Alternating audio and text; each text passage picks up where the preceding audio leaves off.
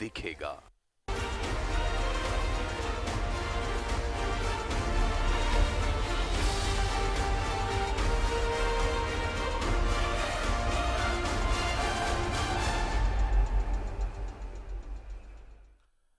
नमस्कार, मैं हूँ गंगेश गुंजन। 2020 में आपसे हमारी ये पहली मुलाकात है। नया वर्ष आप सबको बहुत बहुत मुबारक हो।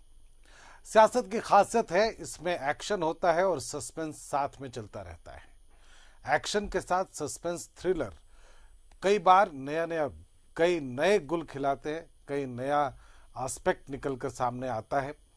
आज समझने की कोशिश करेंगे कि इस बार के सस्पेंस में क्या नया है और क्या नया होने से यह सस्पेंस खत्म हो जाएगा।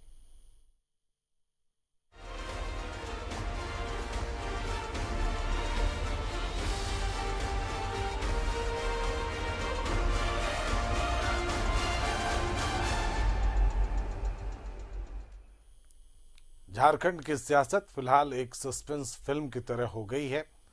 फ़िल्म का सस्पेंस तो फिर भी खत्म हो जाता है, पर यहाँ का सियासी सस्पेंस अभी खत्म होता नहीं दिख रहा।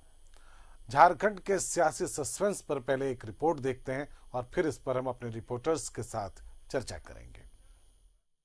सियासत एक ऐसी फ़िल्म है जिसका सस्पेंस हमेशा ज़िंदा रहता है। और अगर झारखंड की सियासत हो तो सस्पेंस तो इसका सबसे अहम कैरेक्टर होता है। अब जब सरकार नई बनी, मुख्यमंत्री के साथ तीन मंत्रियों ने शपथ ली, पर अब भी सस्पेंस जारी है। मंत्री परिषद कैसा होगा? मंत्रिमंडल में कौन कौन होगा? श्वेत पत्र में क्या होने वाला है? विपक्ष के नेता कौन होंगे? बीजेपी का नया प्रदेश अध्यक्ष कौन होगा? ये सवाल ऐसे हैं जिनके जवाब फ़िलहाल सिर्फ़ समय के पास है। श्वेत पत्र को लेकर तो अब सियासत भी शुरू हो गई है। पूरे राज्य की जनता को उनके पापों से अवगत करवाएगी। राज्य के हालात के विषय में लोगों को जानकारी देंगे। तो उसके बाद फिर सदन में किस मुँह के साथ वो सामने आएँगे ये एक बहुत बड़ी समस्या उनके लिए और इसलिए अब अब से वो बहाना बनाना शुरू कर चुके हैं। देखा होगा कि हम अभी पिछली सरकार के जो काम काज है उसके लिए हम श्वेत पत्र ला रहे हैं। लेकिन हमारी जो प्राथमिकताएँ हैं जो हमारे संकल्प पत्र में जो आ, आ, उसमें हम लोगों ने जो घोषणाएँ की उन घोषणाओं को प्राथमिकता के आधार पर सरकार उसको लागू करने का काम करेगी। हेमंत सोरेन के नेतृत्व में सरकार है वो राज्य के मुख्यमंत्री है। अब वो श्वेत पत्र जारी करे लाल पत्र जारी करे पीला करे काला करे हरा करे ये तो उनका अधिकार है वो कर सकते हैं। इसमें किसी को कोई आपत्ति भी नहीं होनी चाहिए। इतना ही नहीं ये तो सरकार से जुड़ी बात थी। अब तो सस्पेंस इस पर भी है कि विपक्ष का नेता कौन होगा। सबसे बड़ी विपक्षी पार्टी का प्रदेश अध्यक्ष कौन होगा? इन बातों पर अब तो जेएमएम भी चुटकी लेने लगा है। अखबार में तो हमने पढ़ा कि कोई नेता बनने को तैयार नहीं है। तो ऐसा कभी होता है क्या कि किसी भी लोकतांत्रिक व्यवस्था में सदन यदि गठित हुआ है तो सदन का नेता यदि है तो विपक्ष का भी नेता होना चाहिए। और ये संवैधानिक ज़रूरी बातें इस सियासी सस्पेंस का दी एंड कब होगा, ये तो पता नहीं, पर इतना ज़रूर है कि इस सस्पेंस के एंटरटेनमेंट में कोई कमी नहीं है। Bureau report, news 11 Bharat. जब सस्पेंस अधिक गहरा हो तो समझने के लिए जिस दरबार में जाया जाता है, वो आप और हम सभी जाते हैं, वो है ऊपर वाले का दरबार। लेकिन मुख्यमंत्री आज वहाँ इस कारण से नहीं गए। वो सपरिवार पहुँचे छिन्नमस्तिके के दरबार में, पूजा अर्चना की और राज्य की भलाई की कामना की। मुख्यमंत्री हेमंत सोरेन रजरप्पा में माँ छिन्नमस्तिका के दरबार में सपरिवार हाजिरी देने पहुँचे। माँ के चरणों में शीश झुकाया और माँ से न सिर्फ़ अपने और अपने परिवार के लिए बल्कि पूरे झारखंड के लिए आशीर्वाद मांगा। प्रदेश में सुख शांति समृद्धि बनी रहे। माता जी को लेकर नया साल हाँ नया साल मुबारक हो सब के लिए। हाँ? और हेमंत जी को क्या आशीर्वाद देंगे? माँ का आशीर्वाद ले लिया नया साल नया साल में वो माँ बेटा का क्या आशीर्वाद देगा वो तो माँ बेटा ही नहीं जानता है है नहीं तो? कई रूपी जी ने कहा कि माँ और बेटा का जो आशीर्वाद है वो किसी को बताने की ज़रूरत नहीं और तभी से ही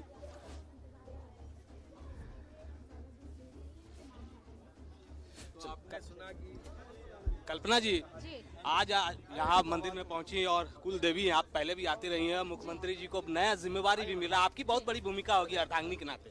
जिस तरीके से हर एक पति की पत्नी की पत्नी की एक होती है पति की तरफ़ ज़िम्मेदारी, वही मेरी भी है। बहुत सारे भूमिकाएँ हैं, माँ का भी है, बहू का भी है, भाभी का भी है।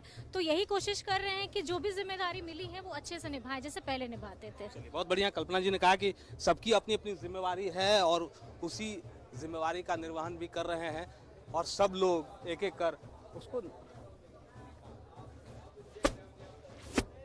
इस वक्त अब जैसे कि देख सकते हैं ना करने के बाद निकल चुके हैं।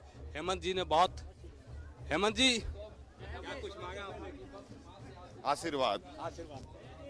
राज्य के लिए सुख समृद्धि। बिल्कुल बिल्कुल। राज के लिए पूरे परिवार के लिए राज की जनता के लिए जनमानस के लिए। हेमंत जी ने कहा कि पूरे राज्य के लिए राज्य की जनता के लिए, परिवार के लिए और सुख और समृद्धि जो कि बातें होती हैं और इस वक्त देख सकते हैं कि पूरे परिवार के साथ हेमंत जी यहाँ पूजा अर्चना ने की है।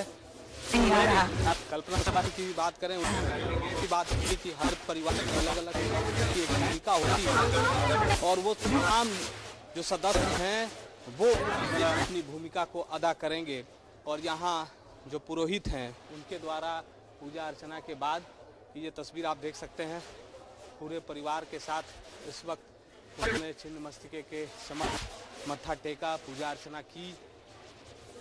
पहले से भी अगर हम कहें, वो आते रहे हैं, पूरा परिवार यहाँ आता रहा है। और आज फिर से यहाँ पर हेमंत सोरेन, शिबू सोरेन पूरे परिवार के साथ पहुँचे थे।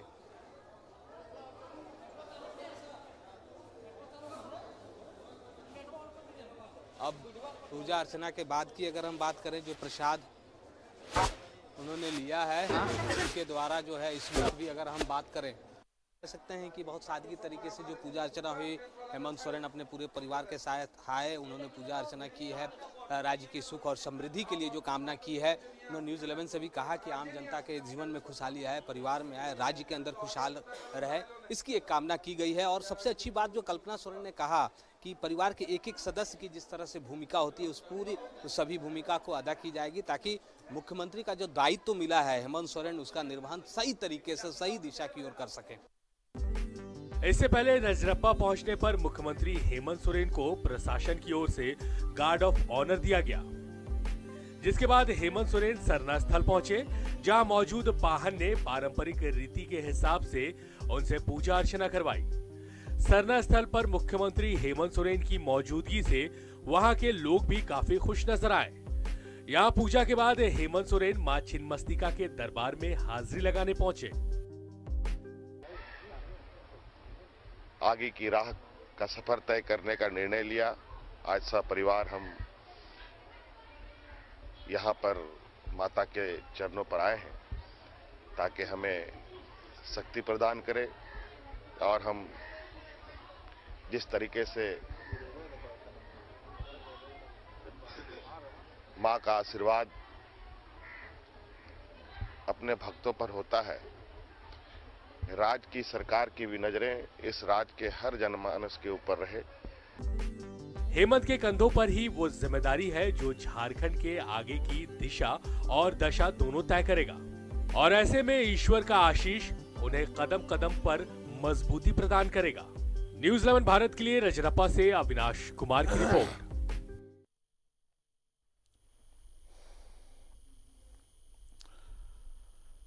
तो ये रजरप्पा की तस्वीरें आप देख रहे हैं, जहाँ आज हेमंत सोरेन पहुँचे और सपरिवार पहुंचकर उन्होंने पूजा अर्चना की। और वहाँ की तस्वीरें आप देख रहे हैं। आप, हमारे रिपोर्टर अविनाश ने वहाँ बातचीत भी की, वो बातचीत भी आपने सुनी। ये सियासत से अलग हटकर हम कह सकते हैं। ये जो तस्वीरें आप देख रहे हैं, वो सियासत से अलग हटकर हैं। इस बीच प्रदेश की सियासत में यह सस्पेंस तो खत्म हो गया कि सत्ता किसकी होगी, मुख्यमंत्री कौन होंगे, ये सस्पेंस खत्म हो चुका। हेमंत सोरेन मुख्यमंत्री बन चुके हैं, उनके साथ तीन और मंत्रियों ने शपथ ले ली है। तब अब सस्पेंस किन मुद्दों पर है। सस्पेंस जिन तीन मुद्दों पर है, प्रथम दृष्टिया, वो ये है कि कैबिनेट के बाकी मंत्री कौन होंगे, उनके नाम क्या हैं, क्या हो सकते हैं।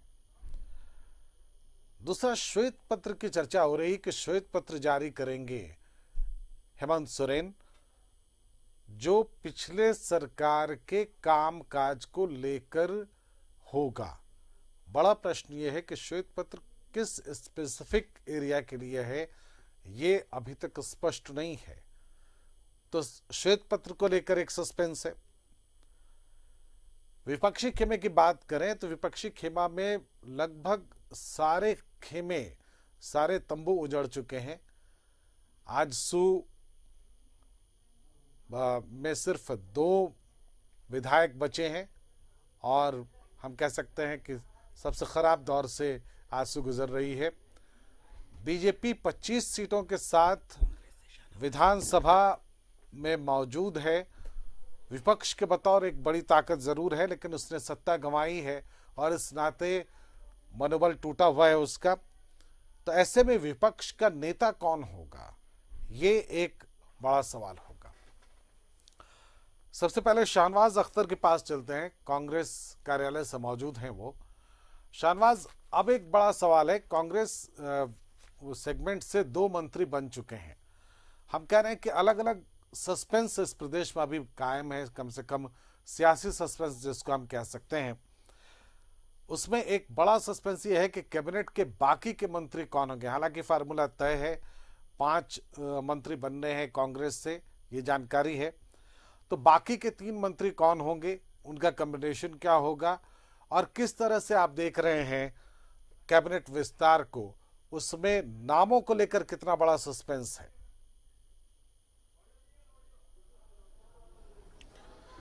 देखिए, चुनौती बड़ी है क्योंकि कांग्रेस ने इतनी बड़ी जीत की कल्पना नहीं की थी और इतना बड़ा जो जीत करके लोग आए हैं। और सबकी सब कई लोग सेकंड टाइमर भी हैं। अगर हम बात कर लें तो बन्ना गुप्ता फिर इस लगातार तो नहीं लेकिन पहले रह चुके थे बीच में हार गए थे फिर उनकी रिपीटेशन है। और जातिगत अगर आधार पर देखें तो उनका भी क्लेम बनता है। और अंबा प्रसाद का भी क्लेम बनता है। अंबा प्रसाद ने भी बहुत ही चैलेंजिंग जीत दर्ज की है। ममता देवी ने भी बहुत ही चैलेंजिंग व्यक्ति को हराया है आजसू के बहुत ही पावरफुल प्रत्याशी को हराया है। तो ये तीन नाम में से कोई एक नाम आप मान के चले कि सिलेक्ट होंगे क्योंकि अम्बा प्रसाद भी वैश्य जाति से आती हैं हाँ। बन्ना गुप्ता भी वैश्य समुदाय से आते हैं। हो सकता है कि महिलाओं में किसी एक चेहरे को पसंद करना हो तो दीपिका पांडे का भी नाम बहुत तेज़ी से आगे चल रहा है क्योंकि अगड़ी जाति से बिलोंग करती हैं। जो एक ज़माने में कांग्रेस का परंपरागत वोटर हुआ करता था जो बाद में भारतीय जनता पार्टी की तरफ़ मुड़ गया था। हम्म। अंबा प्रसाद बहुत पढ़ी लिखी हैं और राजीव गांधी ने भी उनकी प्रशंसा की है। उन तक उनकी बात पहुँची है किस तरह से कठिन परिस्थितियों में अपने पिताजी के जेल जाने के बाद माताजी के तड़ी पार होने के बाद उन, उन्होंने अपनी जीत को सुनिश्चित किया अपनी पार्टी के झंडे को बुलंद रखा है। हम्म। तो जहाँ तक मेरी इंटरनल जानकारी के मुताबिक अंबा प्रसाद का एक नाम उसमें फाइनल करीब करीब मान के चलना चाहिए। अब अगर विक्सल कुंगाड़ी पर थोड़ा सा गौर कर लें तो ये सेकंड टाइमर हैं वो भी लगातार दूसरी बार जीत करके आए। पिछली बार उपचुनाव में जीते थे। और बहुत ही सिंपल व्यक्तित्व के धनी बहुत शो ऑफ़ नहीं डाउन टू अर्थ और ईसाई समुदाय को रिप्रेजेंट करते हैं और खुद भी चर्च से रिलेटेड हैं फादर रह चुके हैं वो हम्म। तो वो उनका भी क्लेम बनता है उनकी भी ख्वाहिश है कि उनके समुदाय को और ये उनकी ख्वाहिश से ज़्यादा कांग्रेस इस मामले में काफ़ी माहिर है इसको लेकर काफ़ी अब मेरे साथ के, केशव प्रसाद कमलेश जी हमारे साथ हैं केशव महतो कमलेश जी अ, कार्यकारी अध्यक्ष हैं। मेरे ख्याल से अगर इनको जोड़ लें इस कार्यक्रम में तो रोशनी मिल सकती है हमें। जी आप कमलेश जी अभी जो हम बातचीत कर रहे थे वो जो तीन बर्थ खाली हैं तीन बर्थ खाली हैं कांग्रेस कोटे से भरे जाने हैं इसको लेकर के क्या मंथन चल रहा है इंटरनल फॉर्मूला क्या? ये इस संबंध में हमारे जो आलाकमान है वही तय करते हैं। प्रभारी और सभी हमारे प्रदेश अध्यक्ष और सीएलपी लीडर और हमारे जो मान्य प्रदेश के इंचार्ज हैं, आरपीएन सिंह साहब, यही आलाकमान से बात करके सारे समीकरण को देखते हुए, सारे प्रमंडल और सभी समुदाय के भावनाओं को रखते हुए, वे लोग उनकी क्षमता और दक्षता को देखते हुए संगठन के हित में वे लोग अपना निर्णय लेंगे। मनी समीकरण ही तो पूछ रहा हूँ मैं कि आखिर वो समीकरण क्या हो सकता है? अभी तो आप देखेंगे कि किस तरह से पहला जो हमारा ओत समारोह हुआ सिरोमनी उसमें हमारे जो प्रदेश अध्यक्ष आदिवासियों के सबसे बड़े चेहरे हैं हमारे प्रदेश में डॉक्टर रामेश्वर उरांव जो केंद्र में मंत्री रह चुके हैं। यानी आदिवासी कोटा भर गया। अब तो वो हमारा कहना आदिवासी कोटा भरने का नहीं है। दो दो मंत्रिमंडल में जो हमारे कांग्रेस के नेताओं को शामिल किया गया है, सोच समझ के आला कमान ने हमारे एक आदिवासी समुदाय से और एक अल्प समुदाय समूह से जिन लोगों की एक अच्छी साफ़ सुथरी छवि रही है और जिनका कांग्रेस के संगठन में कांग्रेस में काफ़ी योगदान रहा है, वैसे दोनों के को उन लोगों ने इस मंत्रिमंडल में पहली बार शपथ दिलाई। महिलाओं की बारी है। महिला भी अपने आप में एक अलग कैटेगरी होती है। विधायक हाँ, सबसे ज़्यादा महिलाएँ इस विधानसभा में कांग्रेस से ही चुन के आई हैं। चार महिलाएँ एक संथाल पन्ना से और एक जो हैं हमारे ये उत्तरी छोटनागपुर से हमारे दो हैं और तीसरी चौथी महिला तीन ही है। तीन। तीन महिलाएँ हैं। यस तीन चार महिलाएँ खड़ी हुई थी लेकिन तीन महिलाएँ हैं। और तीनों महिला एक संथाल पना से हैं और दो उत्तरी छोटनागपुर से। एक वैश्य समाज से आती हैं और एक कुर्मी समाज से आती हैं। और दोनों का अपना अपना विशेष महत्व है। उन्होंने विपरीत परिस्थितियों में एक दीपिका पांडे जी भी हाँ। दीपिका पांडे वह संथालपना से आती हैं। वह भी हमारे लब्ध प्रतिष्ठित कांग्रेस के नेता अवध बिहारी सिंह की बहू है पुत, पुतोहू है। तो इलेक्शन में थोड़ा सा कठिनाई होगी। कांग्रेस में उनका भी काफ़ी योगदान है और एक समाज को हमारे कुर्मी समाज का भी पूरे झारखंड में मतलब एक अच्छा मैसेज देने के लिए भी स, मतलब यह पार्टी हाईकमान सोच सकती है कि करीब 35 ऐसे विधानसभा क्षेत्र हैं जहाँ हमारे समाज की बहुलता है। तो इस तरह से तीनों का अलग अलग है। कांग्रेस में दीपिका पांडे का भी काफ़ी योगदान है। युवा राजनीति से लेकर अब तक और वहाँ से अकेली महिला जीत के संथालपना से आई हैं। हमारे रामगढ़ से भी इन्होंने एक चौंतीस साल के किला को उन्नीस पचासी के बाद, जमुना शर्मा के बाद कांग्रेस की वहाँ एक भी मतलब जीत नहीं हुई है, एक बार भी वहाँ ममता देवी ने जीत हासिल की है बड़ी भारी मतों से। और बड़का गाँव से भी अम्बा देवी ने बहुत रिकॉर्ड मतों से अपनी जीत हासिल की है। इसलिए ये सारा तय आला कमान करेंगे। और इसके लिए हमारे प्रभारी जी यहाँ करीब दो महीना तक रह करके जिस तरह चुनाव का संचालन किया और सभी जीत दिलाने का एकदम काफ़ी प्रयास किया जिसका परिणाम है। ये ये बात तो तय हो गई कि तीन में से कोई एक महिला शाहनवाज, हम फिर आएँगे आपके पास। ईसाई समुदाय बिल्कुल डायरेक्ट। आप बने रहिए उनके साथ हम फिर आपके पास आ रहे हैं। आ, इस समीकरण को समझेंगे चूँकि महिलाओं को स्थान देना बेहद ज़रूरी है, जिस तरह से वो बता रहे हैं। महिलाओं का एक स्थान है। और जो हम देख रहे हैं, उसमें तीन सीट अभी और खाली है, या हम कह सकते हैं।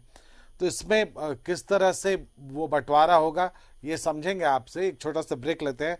ब्रेक के बाद हम जब लौटेंगे तो हम सत्ता पक्ष की भी चर्चा करेंगे कि मंत्री पद की होड़ में कौन कौन लोग हैं। और इसके अलावा विपक्ष के नेता के लिए बीजेपी की तरफ़ से कौन है, ये भी समझने की कोशिश करेंगे, छोटे से ब्रेक के बाद।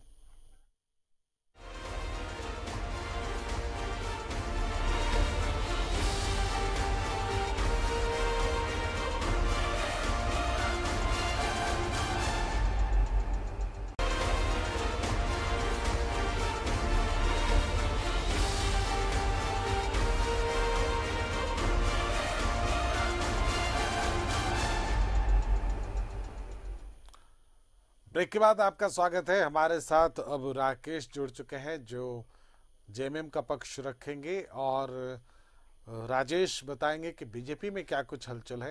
लेकिन इससे पहले हम एक बार कांग्रेस कार्यालय चलेंगे, जहाँ शाहनवाज मौजूद है और वो बातचीत कर रहे हैं। हम उसे समझने की कोशिश करेंगे कि बर्थ अब बहुत कम बचे हैं और दावेदार कई हैं। तो ये सस्पेंस कैसे खत्म होगा वहाँ? शाहनवाज।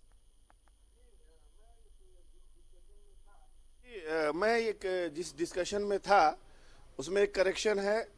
कमलेश जी जैसा बता रहे थे कि तीन नहीं चार महिलाएँ जीत करके आई हैं। पूर्णिमा सिंह भी हैं जो झरिया से जीत करके आई हैं। जी जी। ये नीरज सिंह जो कांग्रेस के समर्पित कार्यकर्ता रहे हैं उनकी विधवा हैं।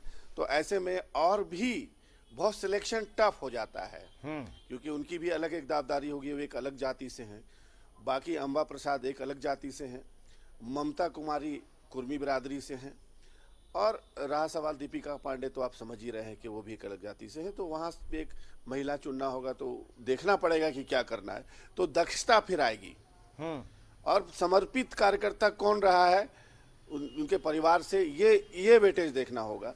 और फिर मुझे लगता है कि बन्ना गुप्ता अगर वैश्य बिरादरी से लेना है तो बन्ना गुप्ता को लेना ज़रूरी होगा।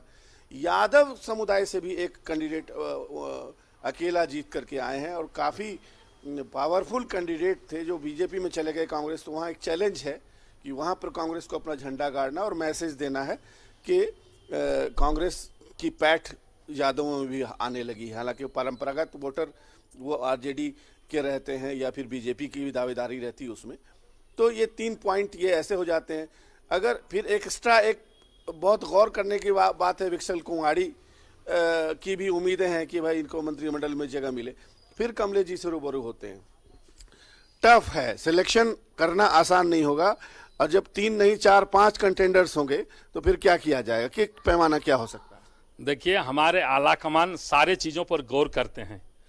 वे जिस तरह टिकट वितरण में पूरी सूझबूझ के साथ हमारे 31 जगह पर टिकट उन लोगों ने वितरण किया, उसी तरह ये मंत्रिमंडल के गठन में भी जो हमारे विधायक जीत करके आए हैं और हमारी महिला विधायक जीत करके आई हैं, मैंने शुरू में ही कहा चार जीत के आई हैं, और सबसे ज़्यादा इस विधानसभा में कांग्रेस पार्टी से ये चारों आई हैं। चारों दक्ष हैं, चारों पढ़ी लिखी हैं, और चारों में अलग अलग सभी का अपना महत्व है इस पार्टी में।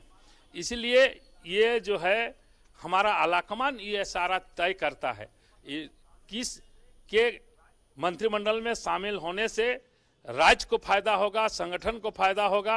राज्य हित में हमारे आलाकमान इन सारे बिंदुओं पर विचार करते हैं, जिसमें हमारे सीएलपी लीडर, हमारे प्रदेश अध्यक्ष और हमारे प्रभारी सब मिल करके आला कमान से बात करते हैं और उसके बाद उसका यह चयन होता है। हमारे पलामू प्रमंडल से भी, हमारे एक माननीय विधायक जीते हुए हैं। रामचंद्र सिंह जी वह भी पहले भी विधायक थे। तो इस तरह से पूरे प्रमंडल और पूरे झारखंड को देखते हुए और झारखंड के संगठन और ये झारखंड के हित को देखते हुए कि ये आला कमान विचार करेगा। इसमें हमारे जैसे कार्यकर्ताओं की किस तरह की कोई भाग आप, आप कार्यकारी अध्यक्ष हैं कमलेश जी। गंगेश जी एक, एक नया नाम इन्होंने जोड़ा है रामचंद्र सिंह पलामू से हैं। हम्म। और अगर उस क्षेत्र पे कांग्रेस को आगे भी कामयाबी चाहिए तो रामचंद्र सिंह को इग्नोर करना आ, मुश्किल पड़ेगा। बिल्कुल क्षेत्र का ध्यान रखना होगा। चार महिलाएँ हैं वहाँ सिलेक्शन की एक प्रॉब्लम है। जी बिल्कुल शाहनवाज आप बने रही हमारे साथ। आप हम एक बार राकेश का रुख करेंगे। राकेश अब एक चर्चा जो सबसे ज़्यादा हो रही है सरकार गठन के बाद से, वह है कि श्वेत पत्र लाएगी सरकार, वो श्वेत पत्र पिछले सरकार के कामकाज पर होगी, उसे होगा। ये श्वेत पत्र दरअसल क्या, किसे क्या बताना चाहता है? श्वेत पत्र में ऐसा क्या होगा? वो सरकार क्या बताना चाहती है इसको लेकर? सरकार का साफ़ तौर पर कहना है और जिस तरीके से आ, सरकार गठन से पहले अगर आप देखे होंगे चीज़ों को गंगेश जी तो लगातार झारखंड मुक्ति मोर्चा जो है वो हमलावर रही है। आ, पिछले सरकार को लेकर कि सरकार ने फिजूल खर्ची काफ़ी किए हैं। प्रचार प्रचार के माध्यम से जनता की गाढ़ी कमाई को सरकार ने बेवजह लगाया है। तो इस तरह के आरोप लगातार झारखंड मुक्ति मोर्चा के तरफ़ से लगते रहे हैं। अब चूँकि सत्तारूढ़ दल हो चुकी है झारखंड मुक्ति मोर्चा उनके दल के ही जो हेमंत सोरेन है वो राज्य के मुखिया बन चुके हैं। तो सरकार चाहती है कि जो पिछली सरकार रही है, रघुवर सरकार का जो पाँच साल का कार्यकाल रहा है, उस कार्यकाल में जनता की गाढ़ी कमाई का किस प्रकार प्रयोग हुआ है। ये तमाम चीज़ें पब्लिक डोमेन में आनी चाहिए। उनको लगता है कि मोमेंटम झारखंड के नाम पर एक बड़ी लूट हुई है। वो चीज़ें पब्लिक डोमेन में आनी चाहिए। प्रचार प्रचार के माध्यम से होर्डिंग्स बैनर के माध्यम से जिस तरीके से सरकार ने लोगों के पैसे को टैक्स जो पेयर्स हैं उनके पैसे का जिस तरीके से इस्तेमाल किया है वो चीज़ें पब्लिक डोमेन में आनी चाहिए। इन तमाम चीज़ों को लेकर जो मौजूदा सरकार है वो पिछली सरकार के खिलाफ एक श्वेत पत्र जारी करना चाहती है। और इसको लेकर जो प्रक्रिया है जो कवायद है वो शुरू भी हो चुकी है। तो अब इंतज़ार है कि सरकार का वो श्वेत पत्र क्या होगा, उसमें क्या चीज़ें रखी जाएँगी और झारखंड मुक्ति मोर्चा की तरफ़ से ये भी दावे किए जा रहे हैं गंगेश जी कि इस श्वेत पत्र के माध्यम से जब चीज़ें सामने आएँगी, पब्लिक डोमेन में आएँगी तो ये भी चीज़ें क्लियर हो जाएँगी कि किसने लोगों की गाड़ी कमाई को अपनी कमाई के तौर पर रखा है और वैसे चेहरों को सरकार चिन्हित कर उन्हें जो सजा का जो प्रावधान होता है उसे भी दिलाने का काम करेगी तो झारखंड मुक्ति मोर्चा हो या उनकी सरकार हो एक तरीके से पूरी तैयारी कर चुकी है पिछली सरकार को लेकर कि सरकार ने अनावश्यक रूप से जो पैसे खर्च किए हैं जहाँ ज़रूरत नहीं थी हम्म। उन पैसों का हिसाब सरकार को देना होगा और उसी पैसे के हिसाब को लेकर मौजूदा सरकार जो है पिछली सरकार के खिलाफ एक श्वेत पत्र जारी करने जा रही है बहुत स्पष्ट है ये ये वजह नहीं हो सकती है राकेश। आ, सरकार अगर सरकार को लगता है कहीं कोई गड़बड़ी है वो जाँच का आदेश दे सकती है और उस पर कार्रवाई कर सकती है। उसको इस, इस सरकार ने इस सरकार को कोई रोक नहीं सकता है। श्वेत पत्र दरअसल वस्तु स्थिति को एक्सपोज करने के लिए है। कि अभी वस्तु स्थिति क्या है उसको शायद जेएमएम एक्सपोज करना चाहता है कि जो जो दावे थे उससे उलट अभी की तस्वीर है। शायद सरकार अगर कार्रवाई करना चाहे तो उस, उसे रोकने वाला कोई नहीं है। विपक्ष भी नहीं रोक सकता। अगर सरकार को लगता है कहीं कोई कार्रवाई की ज़रूरत है विभागीय जाँच के आदेश दे सकती है वो कार्रवाई कर सकती है। उसमें अगर कुछ गलत हुआ है तो कार्रवाई हो सकती है। अभी अब यहाँ पर दो चेहरे निकल कर आते हैं। पूर्वाग्रह से ग्रसित नहीं रहेगी सरकार। हेमंत सोरेन ने जैसे ही वो शपथ ग्रहण के पहले ही उन्होंने स्पष्ट किया था, अखबारों की सुर्खियाँ बनी थी कि कुछ पूर्वाग्रह से ग्रसित नहीं होगी सरकार। एक बड़ा मुद्दा ये है। और दूसरा, जब आप श्वेत पत्र लाते हैं तो ये बताते हैं कि पहले आप पूर्ववर्ती जो सरकार की गड़बड़ियाँ हैं, उसको एक्सपोज करना चाहते हैं, उसको सामने लाना चाहते हैं जनता के। सरकार को जब इतना बड़ा मैंडेट मिला हो तो इसकी ज़रूरत क्यों पड़ रही है? क्या आपकी इस पर बातचीत हुई है? सरकार का जिस तरीके का खजाना खाली है जो खबरें मीडिया में लगातार चल रही है हम्म। सरकारी एजेंसियों के जो रिपोर्ट आए हैं गंगेश जी उसमें भी साफ़ तौर पे कहा गया है कि सरकार का खजाना है खजाना जो है वो खाली है हम्म। तो उसी को कहीं ना कहीं जो मौजूदा सरकार है वो पब्लिक डोमेन में लाना चाहती है या बताना चाहती है कि सरकार ने किस तरीके से आपके आपके जो टैक्स पेयर थे आपने जो टैक्स दिया उस पैसे का किस तरीके से दुरुपयोग हुआ और आज स्थिति ये है कि नई सरकार के लिए खजाना खाली है तो ये एक मैसेज देने की कोशिश की जानी है आ, सरकार मौजूदा सरकार की तरफ़ से। और, और यही एक बड़ी वजह है श्वेत पत्र को लेकर। जी राकेश राजेश क्या इसका मतलब ये माना जाए कि आने वाले कुछ दिन शायद झारखंड के लिए टफ हैं? सरकार और थोड़े मुश्किल दौर से प्रदेश की जनता को गुजरना पड़ेगा। शायद ये करने के लिए सरकार पहले पूर्ववर्ती कार कारनामे जो हैं जो भी सरकार ने काम किए हैं पूर्ववर्ती सरकार ने जो भी काम किए और जो इस सरकार मानती है कि गलत काम किए उसको एक्सपोज करना चाहती है ताकि वो एक जब आगे कोई मेजर्स उठाए कुछ इसको सुधारने के कदम उठाए और इससे जो असुविधा हो तो वो बताए कि साहब ये पूर्ववर्ती सरकार ने गलत किया था इसलिए हम ये बत, इस ये मेजर्स उठा रहे हैं सुधारवादी मेजर्स उठा रहे हैं। ये है इसका मकसद राजेश।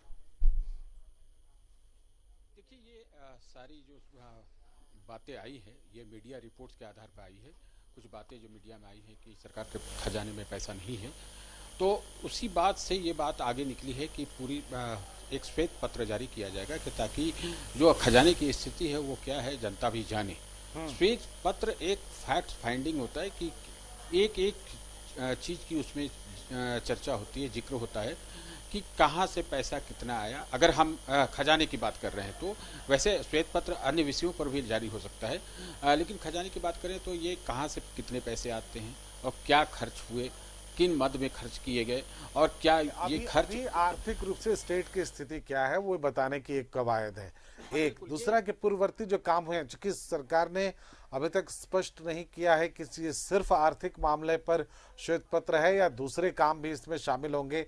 और अगर दूसरे काम शामिल होंगे तो कौन से काम शामिल होंगे, ये स्पष्ट नहीं है। शाहनवाज से जानेंगे। शाहनवाज, क्या हम ये माने कि सरकार इसके ज़रिए एक संकेत देना चाहती है कि आने वाले कुछ दिनों तक थोड़ी असुविधा शायद झारखंड को झेलने पड़े झारखंड की जनता को? चूँकि श्वेत पत्र का उद्देश्य अगर अगर सरकार ये चाहती कि जो गलत हुआ है उस पर कार्रवाई हो तो उसके लिए श्वेत पत्र लाने की ज़रूरत नहीं होती। अगर सरकार ये श्वेत पत्र ला रही है तो उसके पीछे के कारण स्पष्ट जो दिखते हैं, वो ये है कि उसको उसको लेकर जो सुधारवादी मेजर्स उठाए जाएँगे, वो सरकार उसमें जो असुविधा हो सकती है, उसको वो कम करना चाहती है, उस पर लोगों की प्रतिक्रिया कम करना चाहती है।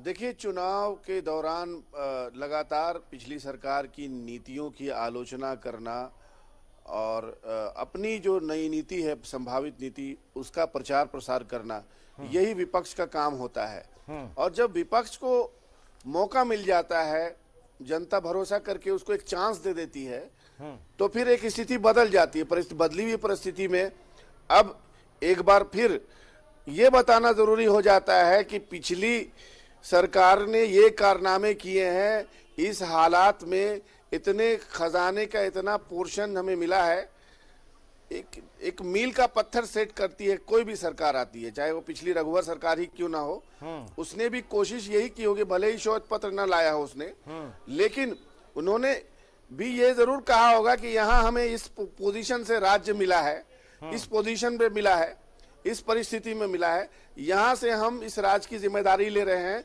उसके पहले के किए गए गुनाह उससे पहले की गई गलतियों के हम जिम्मेदार नहीं है। हम्म। ये एक बताना मकसद होता है।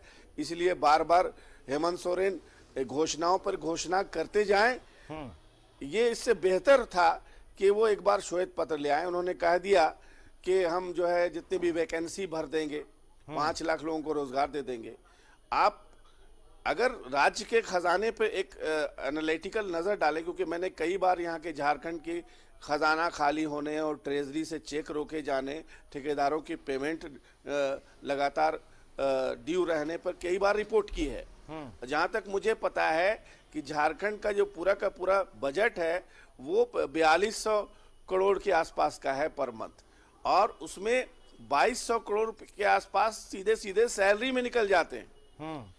बाकी चीज़ें हैं बैट जो बैक लोन्स हैं झारखंड पर हम्म। उन्नीस साल में हर सरकार ने कुछ कुछ लोन्स लिए हैं उसको चुकाना पड़ता है हम्म। उसके बाद वो सब चीज़ें अगर हो जाती हैं तो ज़्यादा से ज़्यादा एक हज़ार करोड़ नौ सौ करोड़ आठ सौ करोड़ इससे ज़्यादा कभी रघुवर सरकार में भी नहीं रहा है हम्म। विकास के कामों के लिए सड़कों के लिए पुल के लिए पुलिया के लिए नई योजनाओं के लिए तो ये बहुत अच्छी स्थिति तो फ़िलहाल है नहीं सरकार की। बार बार इसका ज़िक्र हो रहा है कि खजाने में पैसे नहीं है और यहाँ से हेमंत को शुरुआत करनी है और हेमंत भी पहले राज्य सरकार चला चुके हैं। इसीलिए वो बेहतर जानते हैं कि उनको इन सब कामों के लिए रिसोर्सेज चाहिए। पिछले कई महीनों से जीएसटी का भी शेयर नहीं मिला है। हम्म। किसी भी स्टेट को नहीं मिला झारखंड को भी नहीं मिला है। हम्म। और कई लोक लुभावन घोषणा यहाँ पे योजनाएँ चल रही हैं। हम्म। एक रुपए में महिलाओं की रजिस्ट्री हो रही है। अब तक पैंतालीस सौ करोड़ रुपया इस पे खर्च हो चुका है। दूसरा रसोई गैस की उज्ज्वला योजना चल रही है। इस पे भी अच्छा खासा खर्च हो चुका है। हम्म। बाकी मिड डे मील है कॉन्ट्रैक्ट लेबर की पेमेंट है हम्म। ये सारी चीज़ें हैं हम्म। सारी चीज़ें चल रही हैं।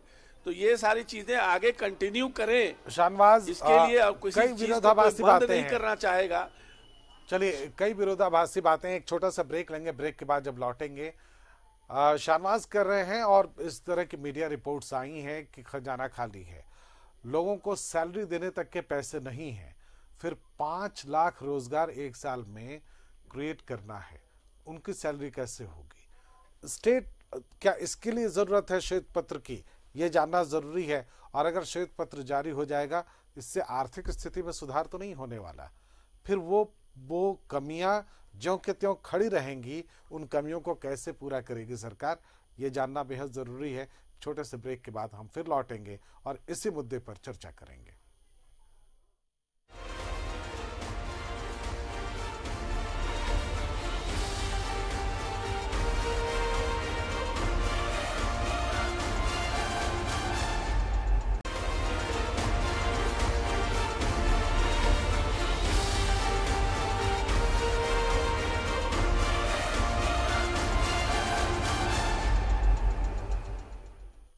ब्रेक के बाद आपका स्वागत है। सियासत और सस्पेंस की चर्चा हम कर रहे हैं। हम बता रहे हैं कि कैबिनेट में और कौन कौन से मंत्री शामिल होंगे, ये सस्पेंस का विषय है।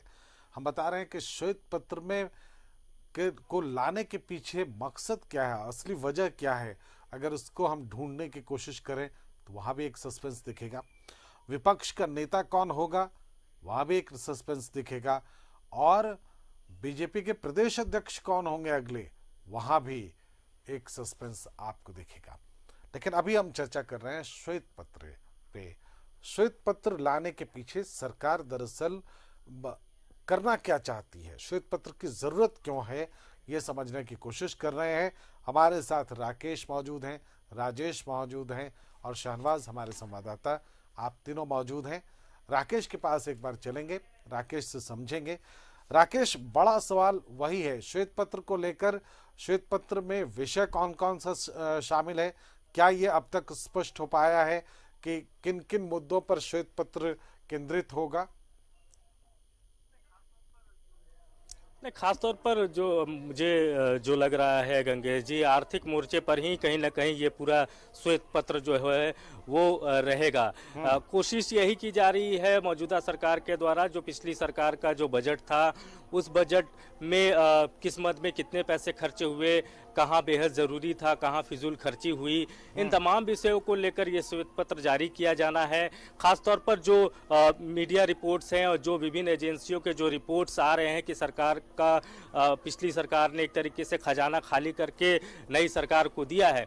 तो ये चीज़ें भी अ, जो सरकार है जो अ, झारखंड मुक्ति मोर्चा है, वो चाहती है कि पब्लिक के बीच में आए और एक मैसेज आए कि देखिए, हमारे पास बहुत कुछ करने के लिए तो है, लेकिन हमारे पास खजाना खाली है। सब, पिछली सरकार ने तमाम चीज़ें जो आपके टैक्स के माध्यम से जो पैसे जमे हुए वो बिल्कुल फिजूल खर्ची के तौर पर, अननेसेसरी चीज़ों के तौर पर सरकार ने खर्चा किया और आज जब हमारे हाथ में सत्ता आई है और हम करना चाहते हैं, हमारे पास विजन है और उस दिशा में हमने पहली कैबिनेट में ही कई तरीके के संकेत भी दिए हैं कि हमारी सरकार काम करना चाहती है। लेकिन खजाना खाली है तो ये एक मैसेज भी देने की कोशिश कहीं ना कहीं मौजूदा सरकार की तरफ़ से या आप कहिए जो गठबंधन की सरकार है उनके तरफ़ से देने की कोशिश की जा रही है कि विजन बड़ा है लेकिन खजाना खाली है। और पिछली सरकार ने हमें यही सौगात दे के छोड़ा है। तो अब हम यहाँ से कैसे शुरू करें? तो इसके लिए भी वो चाहते हैं कि लोगों के बीच में हम चीज़ों को लेकर जाएँ। चलिए अपेक्षाओं शाहनवाज मैं आपके पास आ रहा हूँ। अपेक्षाओं और घोषणाओं का जो बोझ है मौजूदा सरकार पर चूँकि आप चुनाव में गए हैं आपने हर तरह की घोषणा की है और लोगों के बीच में एक अपेक्षा जगी है। अपेक्षाओं के हम कह सकते हैं लहर पर आप सवार हैं। ऐसे में वो अपेक्षाएँ कैसे पूरी होंगी या उसमें जो देरी होगी, वो किस हद तक होगी और क्यों होगी, ये बताने की एक कोशिश है श्वेत पत्र में। या आपको लगता है कि श्वेत पत्र का वास्तविक एजेंडा क्या है? क्यों लाने के पीछे वास्तविक मकसद सरकार कैसे उसको हल बताएगी?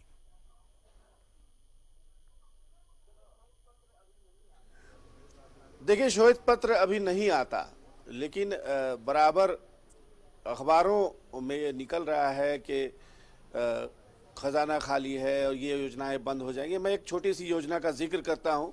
बात को समझाने और समझने में बहुत आसानी हो जाएगी। रजिस्ट्री ऑफिसेज में अभी बेपनाह भीड़ उमड़ पड़ी है।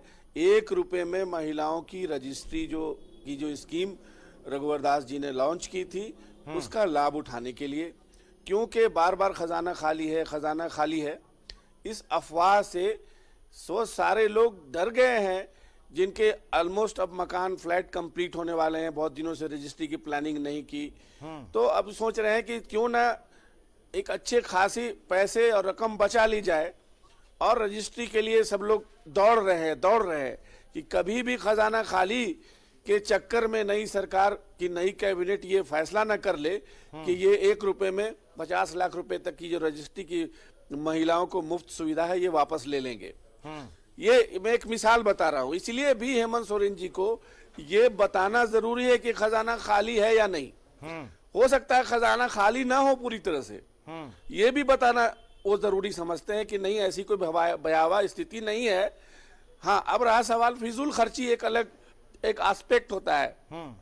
किसी भी सरकार के एक्सपेंडिचर का जो रजिस्टर होता है उसके हिसाब से। तो अब बात आ रही है पिछले दिनों मोमेंटम झारखंड जैसी जो चीज़ें लाई गई और उसके बाद फ़ूड एंड एग्रीकल्चर समिट हुए जो मेगा शोज़ हुए। आपको याद होगा कौशल विकास भी एक अलग डिपार्टमेंट है। कौशल विकास नाम के एक डिपार्टमेंट में भी बहुत ज़बरदस्त गड़बड़ियों की शिकायतें हेमंत सोरेन जी के पास हैं जो अक्सर ज़िक्र करते रहते हैं कि इंस्टीट्यूट्स में उतनी कैपेसिटी नहीं है जितनी उनको पेमेंट हो रही है। बहुत सारे लोग कमाकर लाल हो चुके हैं कौशल विकास डिपार्टमेंट से। ये सारी चीज़ें हैं। तो क्या ज़रूरी है क्या गैर ज़रूरी है ये वो चाहते हैं कि जनता तय करे। और ये ये यथा स्थिति क्या है श्वेत पत्र से अपने आप पता चल जाएगा कि मोमेंटम झारखंड में कितने पैसे खर्च किए गए। उसका आउटकम क्या आया। ये जनता जान लेगी क्योंकि जब जब श्वेत पत्र जारी होगा तो आज से नहीं होगा। वो उस तारीख से होगा जिस तारीख को हेमंत सोरेन ने रघुवर दास जी को सत्ता सौंपी थी। 2015 इसी नवंबर महीने से यहाँ एक किसी एक, तारीख एक, से एक सियासी सवाल श्वेत पत्र जारी होगा। सियासी सवाल उठता है बहुत साफ़ है कि जनता ने रघुवर दास के सरकार के कामकाज को नकार दिया। वो आप मोमेंटम झारखंड में हाथी उड़ाने की बात कहें जो भी बात कहें आप वो तमाम चीज़ों को सरकार कहती रही कि हमने अच्छा किया, चाहे कौशल विकास की बात हो, चाहे कुछ और भी मुद्दे हो, जनता ने उसे नकार दिया। फिर जनता को इसे बताने की ज़रूरत क्यों है, राकेश? इनसिक्योरिटी कहाँ है?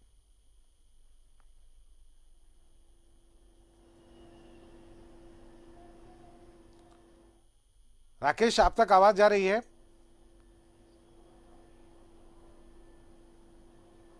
शायद राकेश तक आवाज़ नहीं पहुँच रही है। बहरहाल इन मुद्दों से थोड़ा अलग हटके अब जरा बीजेपी का रुख करते हैं। रा, राजेश वहाँ मौजूद हैं बीजेपी देखते हैं। राजेश सरकार की और सस्पेंस पर बात हो गई। बीजेपी और सस्पेंस तो अभी और गहरा है। बीजेपी अब तक ये नहीं तय कर पाई है कि विपक्ष का नेता कौन होगा। कौन है? जो इस सरकार के सामने तनकर खड़ा होगा, वो चेहरा कौन सा होगा, इसको लेकर विपक्ष बीजेपी पूरी तरह से, हम कह सकते हैं असमंजस की स्थिति में है। क्या वजह दिखती है आपको? करारी हार हुई और अप्रत्याशित हार इसे कहेंगे, क्योंकि इसकी कल्पना पार्टी के न सामान्य कार्यकर्ता ने की थी, न बड़े नेताओं ने की थी तो जो जमीनी हकीकत से ये लोग एकदम वाकिफ नहीं थे और जिस कारण से हार हुई। और ये हार के कारण निराशा है, हताशा है। और यही वजह है कि अब पार्टी को ये चिंतन करना पड़ रहा है कि नेता प्रतिपक्ष के लिए कौन सा समीकरण और कौन सा चेहरा सुटेबल होगा। और देखिए 25 सीट है बीजेपी का और ये निश्चित रूप से सत्र से पहले किया जाना है। हमारी बात सीपी सिंह से, जो विधानसभा अध्यक्ष रह चुके हैं, उन्होंने कहा कि नेता प्रतिपक्ष घोषित होना ज़रूरी है क्योंकि वही विधायक दल की बैठक बुलाता है और सदन में क्या कुछ रणनीति बनती है यह नेता ही करता ही करता है। दो विधायकों वाला भी कोई दल अगर है तो उसके एक नेता उस दल के विधायक दल के नेता होते हैं। तो निश्चित रूप से ये काम होना ही है आ, लेकिन असमंजस की स्थिति यह है कि पार्टी जिस प्रकार से डैमेज हुई है इस चुनाव में और कई कारण रहे हैं। इसका असेसमेंट अभी फ़िलहाल नहीं हो पाया है। दिल्ली से भी हमारी बात हुई थी तो उन, उनका भी कहना है कि क्या कुछ गड़बड़ हुआ जिस कारण से ये चीज़ें ऐसी ऐसे परिणाम आए। तो अभी ये तय किया जाना बाकी है कि कौन से चेहरे को सदन में रखा जाए क्योंकि यह जो नेता होगा नेता प्रतिपक्ष वो मुख्यमंत्री की बराबर का चेहरा होना चाहिए। चूँकि सवाल जवाब मुख्यमंत्री का नेता प्रतिपक्ष पूरे सदन में प्रतिपक्ष का नेता हो, होता है चाहे जो भी दल उसके अधीन आते हों। ना पक्ष में जो भी दल आएँगे चाहे वो जो भी रहे वो आ, उनका प्रतिनिधित्व करता है उनकी बातें सदन में मानी जाती है। अब बड़ा महत्व होता है आप तो ऐसे में कौन सा चेहरा अच्छा होगा? और ये चेहरा मुखर भी होना चाहिए, क्योंकि इस पाँच साल का मामला है। अभी से लेकर 2024 तक जब तक चुनाव नहीं नहीं होते हैं, तब तक एक ऐसा चेहरा जो सरकार को टनाटन जवाब दे, सदन में और सवाल, सवालों के घेरे में सरकार को खड़ा करे। इसलिए ऐसे चेहरे की तलाश है, इसी पर मंथन जारी है। कई नाम है, नीलकंठ सिंह मुंडा चूँकि सीनियर है, रघुवर सरकार में ये सीनियर मिनिस्टर थे और चूँकि पार्टी को ये लगता है कि आदिवासी चेहरा होना चाहिए, ये आदिवासी सत्ताईस अट्ठाईस प्रतिशत है और अभी हाल के चुनाव में आदिवासी समुदाय ने बीजेपी को काफ़ी निराश किया है। इसलिए पार्टी यह भी विचार कर रही है कि नीलकंठ सिंह मुंडा और कोचे मुंडा दो ही विधायक हैं, ऐसे में किनको बनाया जाए तो नीलकंठ सिंह मुंडा भारी पड़ते हैं वो सदन में संसदीय कार्य मंत्री भी रह चुके हैं हाँ। थोड़ा सा मुखरता उनमें लाने की ज़रूरत पड़ेगी उनको अगर हाँ। ये दायित्व तो मिलता है लेकिन दूसरे नेता है सीपी सिंह है चूँकि देखिए झारखंड में अभी दो चीज़ें होनी है झारखंड बीजेपी में एक प्रदेश अध्यक्ष का भी चुनाव होना है चयन होना है हाँ। अब ये दोनों पद बड़े ही कॉम्बिनेशन सोशल कॉम्बिनेशन के हिसाब से सेट किए जाने हैं पार्टी सबसे बड़ी पार्टी है, विपक्ष में सबसे बड़ी पार्टी है, इसलिए इसके हर एक कदम का एक अर्थ निकलेगा। और कहीं न कहीं सत्ता पक्ष बीजेपी को सवालों के घेरे में खड़ा करने की कोशिश करेगा। और अगर इसके कदम कहीं कोई त्रुटिपूर्ण उठते हैं तो ऐसे में आप देखें कि केंद्रीय नेताओं के पर्यवेक्षण में एक बैठक होनी है। तारीख तय नहीं है लेकिन यह पूरी संभावना है कि छह तारीख राजेश मैं लौटता हूँ। एक छोटा एक छोटा सा ब्रेक लेते हैं। आप आप तारीख क्या बता रहे थे? आप एक बार बता दें उसको। छह तारीख से सत्र शुरू होने वाला है। उससे हाँ। पहले एक बैठक होनी है हाँ। और आ, कोई न कोई केंद्रीय नेता के नेतृत्व में ही यह बैठक बुलाई जाएगी। वैसे अभी तारीख तय नहीं है कि पाँच तारीख को होगी बैठक लेकिन विधायकों को बुलाया गया है। वैसे वो सी ए ए के लिए एक बैठक बुलाई गई है बीजेपी की विधायकों की। हाँ। तो हो सकता है कि उसी दिन केंद्रीय नेता कोई आ जाए लेकिन अभी इसकी कोई जानकारी नहीं है। चलिए। बैठक होगी लेकिन ऐसे संभावना है। ठीक है एक छोटा सा ब्रेक लेते हैं और फिर इस प्रोग्राम को समाप्त करेंगे समझेंगे कि तमाम सस्पेंस कैसे खत्म हो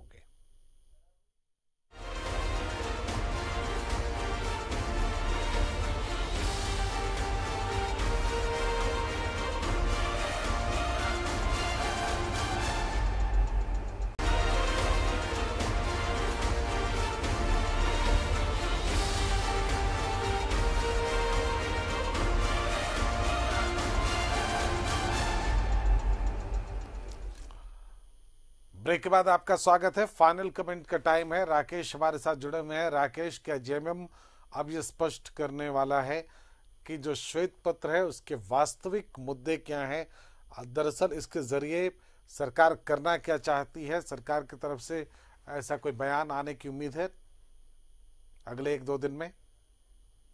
नहीं, देखिए, उम्मीद की जानी चाहिए गंगेश जी की इस पर आ, सरकार के तरफ़ से कोई ऑथेंटिक बयान आएगा कि वो श्वेत पत्र श्वेत पत्र के माध्यम से दरअसल क्या चाहती क्या है क्या चीज़ों को एक्सपोज करना चाहती है और श्वेत पत्र किन किन बिंदुओं पर आधारित होगा इन तमाम चीज़ों के लिए थोड़ा इंतज़ार करना होगा गंगेश जी हाँ। लेकिन फ़िलहाल पार्टी की तरफ़ से जो बयान आ रहे हैं जो चीज़ें पार्टी की तरफ़ से निकल कर आ रही है उससे एक बात यही समझ में आ रही है गंगेश जी कि आर्थिक मोर्चे पर ही ये श्वेत पत्र होगा हाँ। और कोशिश यही है आ, सरकार की कि जो मौजूदा पिछली सरकार ने जिस तरीके से खजाना खाली रखा है उस खजाने की वास्तविकता पब्लिक डोमेन में लाई जाए लोगों को ये बताई जाए कि हमारे पास विजन बड़ा है हम बहुत हम्म। कुछ करना चाहते हैं आ, किसानों की कर्ज माफ़ी का सवाल हो या फिर आ, कई विभागों में आ, पेमेंट का मसला हो तो इन तमाम विषयों को लेकर मौजूदा जो नई सरकार वो ये बताना चाहती है कि हम बहुत कुछ करना चाहती हैं लेकिन हम्म। हमारे पास